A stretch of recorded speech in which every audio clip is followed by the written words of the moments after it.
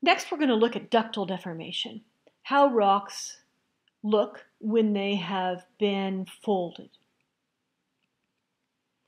Now, it's useful to, to define folds and to be able to measure particular properties on folds because folds can be quite different.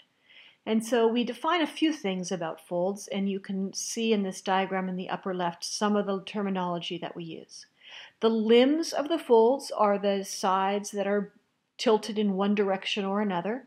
The hinge is the area where that direction of tilt changes. The limbs on one side of the hinge are tilted, dipped in one direction, and the limb on the other side is dipped in the other direction.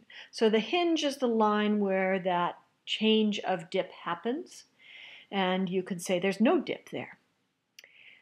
If you look at the different layers here, you can see the hinge line defined on the green layer, and then on the brown dotted layer, and then on the brown dashed layer, and on the orange layer underneath that.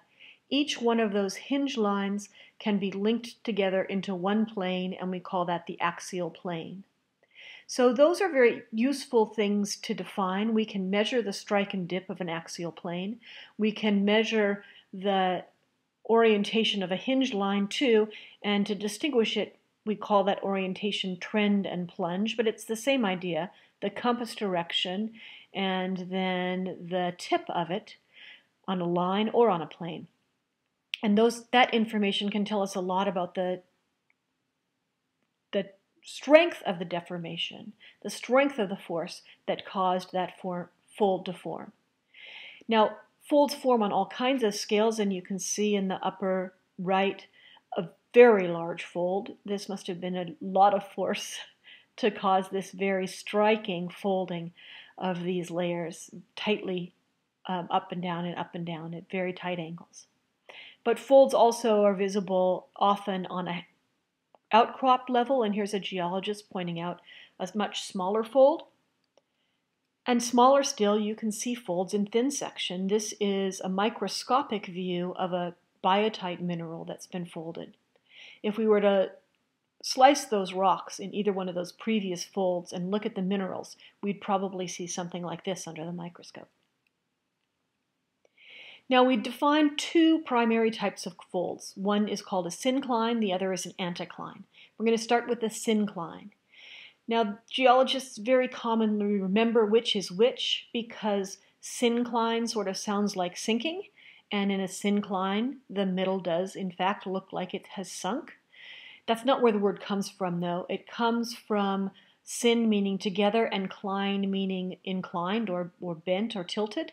So the limbs of the fold are tilted towards each other in a syncline. That's the origin of the word. The interesting thing about synclines and the way that you can distinguish them is that the youngest rocks show up in the center of a syncline. So if you look at either of the diagrams on the on the top, where you really can tell the relative ages of the rocks because you know the sequences, you can tell that if you start walking on one side of the syncline and you go walk all the way across it, that you'll cross from older rocks into younger rocks and then back into older rocks again.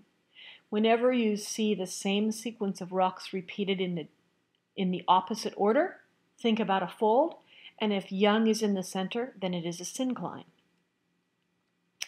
Look at that upper right picture with the different colored layers because we're going to pull it out in the next view. So there is that block diagram at the top, and I have just flipped it and turned it into a map and so the diagram at the bottom might be a map that a geologist draws of this particular syncline, where you have the older green rocks and then middle aged brown and young orange, and then middle aged brown and older green again across a map view.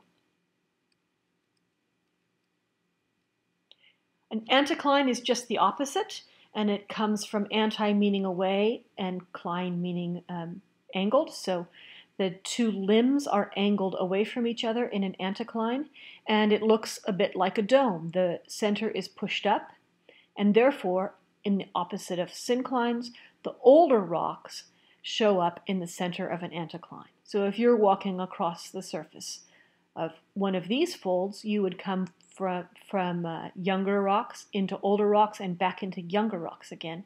And that's how you know you're in an anticline. Anticlines tend to, among other things, be nice traps for liquids in rocks like oil and gas and water. And so uh, geologists look for anticlines as a place where oil and gas might be found.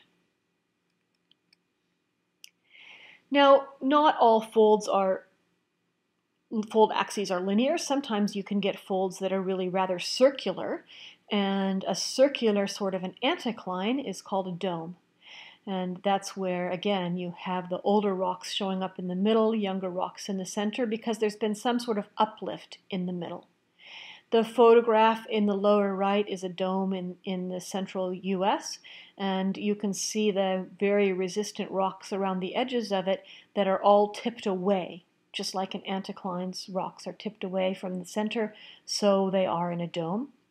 The geologic map on the left shows you a dome that uh, is in England. This is a very old geologic map from England showing a dome, and the older rocks again in the center um, let you know that this is a dome you're looking at.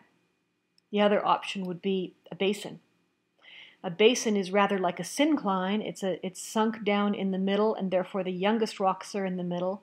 Uh, did you know that Michigan is essentially one huge basin? There's the state of Michigan and the Michigan Basin. Um, even if you can't read the geologic formations, you can tell that the youngest rocks here are in the center because in the um, key on the left, they're at the top. Remember, we geologists, we always like to put the youngest things at the top. So pink is at the top, it must be the youngest rock, therefore this must be a basin. So here's a cross section showing some synclines and anticlines formed by compression. Can you find the anticlines? Pick one out. There are a couple right there.